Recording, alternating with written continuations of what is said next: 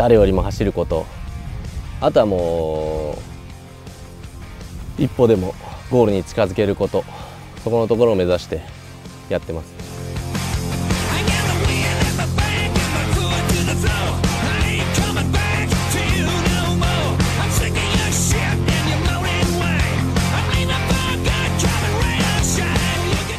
始まり。始まりはまあもちろん何度も言うようにジュビロっていうのはまあパスサッカー昔中心でやってた中で自分自身のプレースタイルで生き残るために必要なことっていうのが誰よりも負けない走力走っていればパス出してくれたっていう状況が非常に多くて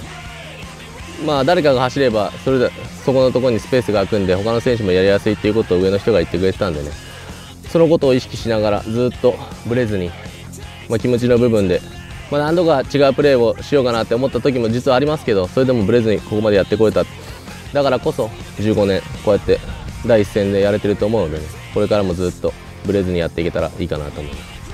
まあ、基本的にはあのスタミナですね、いわゆる有酸素的なあの持久力が非常に高くて、ただそれだけじゃなくて、あのまあ、以前あのジュビロにいた中山選手のようなあのスプリントを何回もあのすることができるっていう。でスプリントとスプリントの間のその、えー、回復力が非常に高いっていうふうなことが言えると思いますで、まあ、もちろんそのフィジカル的なあの能力が高いっていうのとあとはその誰にもやっぱ負けたくないっていうそういうなんですかねメンタル的なそういう強さは非常に感じると思います。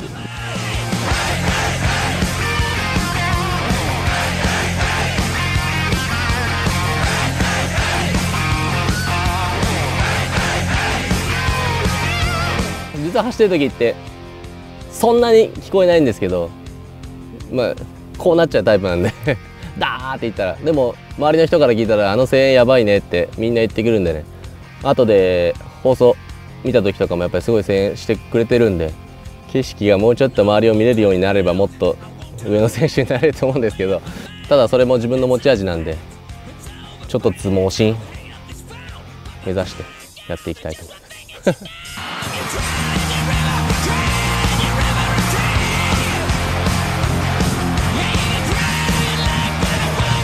誰よりも走って守備に戻って奪って他の選手につなげるっていうのも新たな自分の楽しみになってきてるんでそれもできつつやっぱ今シーズンの目標であるゴール前に自分が顔を出して自分自身でも結果を残すそこのところができてくればやっぱ自分が1段階上の選手になれると思うので、まあ、もう33ですけどもっともっと上を目指して